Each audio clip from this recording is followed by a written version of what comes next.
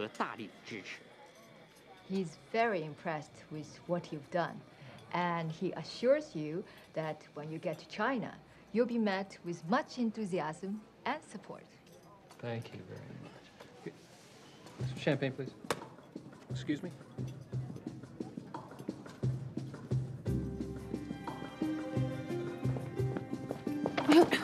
Excuse you. Matthew was a uh, photographer, beautiful, wonderfully creative man. One, and here's my favorite sister.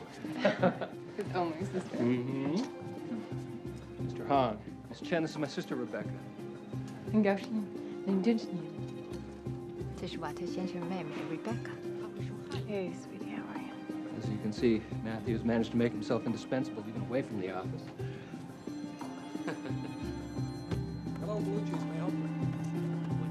Here, sweetie, just take one of these to help you sleep on the plane.